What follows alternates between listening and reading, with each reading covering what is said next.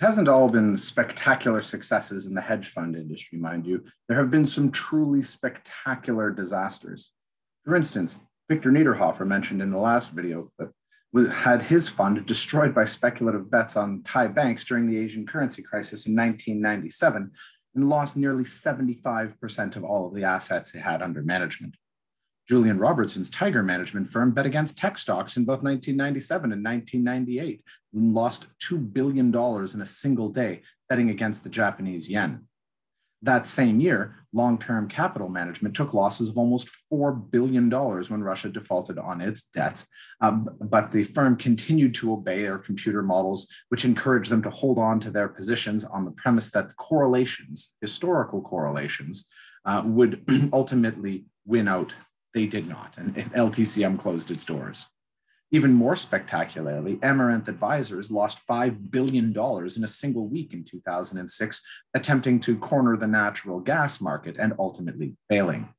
Not to be outdone, Renaissance Technologies, the world's best hedge fund, managed to see their leading institutional funds lose 19, 31, and 32% respectively in 2020, telling their investors that their algorithms were thrown out of whack by market uh, swings. Meanwhile, their employee only medallion fund made a 76% return the same year.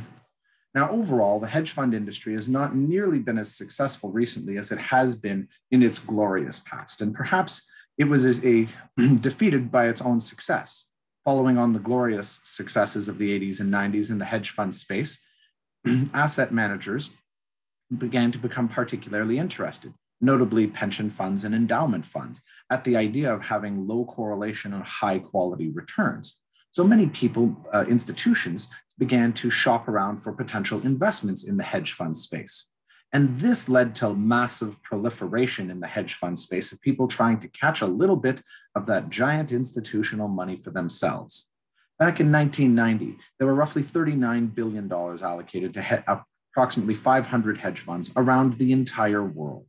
By 2018, we are looking at closer to $3.2 trillion in the hedge fund space, being administered by roughly 10,000 different funds calling themselves hedge funds or alternative asset managers. Now, as you might imagine, the more and more crowded this space has become, the lower the economic profits have been for those people who are trying to participate in it it's one thing when there are 500 hedge funds around the world and many of them have got different kinds of strategies. But once there are 10,000 hedge funds on the dance floor, they can't help but dance on one another's toes. And as a result, the average performance of the entire space has suffered dramatically uh, since the mid 1990s. In fact, just looking at this basic data set from 2004 through 2019, you can see in green the fantastic performance of a simple indexed fund portfolio that is 60% stocks and 40% bonds. Compare that against the uh, returns on a hedge fund index uh, published by HFRI, uh, having only earned roughly a 50% return over 15 years compared with the broader market, which had more than 150% return during that time. Effectively, hedge funds on an after fee basis have been almost trading sideways for the last decade and a half, with lots of managers getting rich off of the generous fee structure and many others trying to force their way into the market by trying to cut away at these fees or accepting high watermarks. Needless to say, the institutional investors have become a little bit less than impressed, and we've seen substantial amounts of money flowing back out of the hedge fund industry uh, in the late, uh, as we move into the 2020s.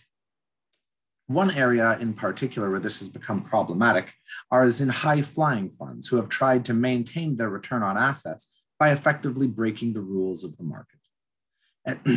in particular, Raj Rajaratnam of Galleon Group was found guilty of 14 charges of insider trading uh, and is still serving 11 years in jail. He should be getting released in the next year or two.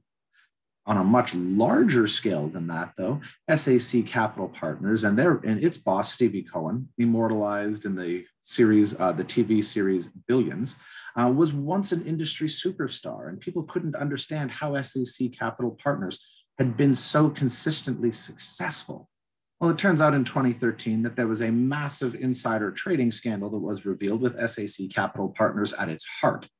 What the judge overseeing the case was quoted as saying that substantial, pervasive, uh, and or sorry, that insider trading by SAC was substantial, pervasive, and on a scale without known precedent in the hedge fund industry. SAC ultimately ended up settling out for $1.8 billion in fines, and its boss, Stevie Cohen, was banned from managing money until 2018. Suffice to say, the glorious days of the 1980s and 90s with high flying hedge fund managers operating in a relatively uncompetitive space has now largely been replaced with copycats who cannot achieve the kinds of results that were seen in the past without, it seems, breaking the rules. It may entirely be time for a rethink in this particular space, as the low hanging fruit has definitely been picked, and yet the industry still seems fixated on a notion of high fee structures that ultimately benefit the managers more than the investors.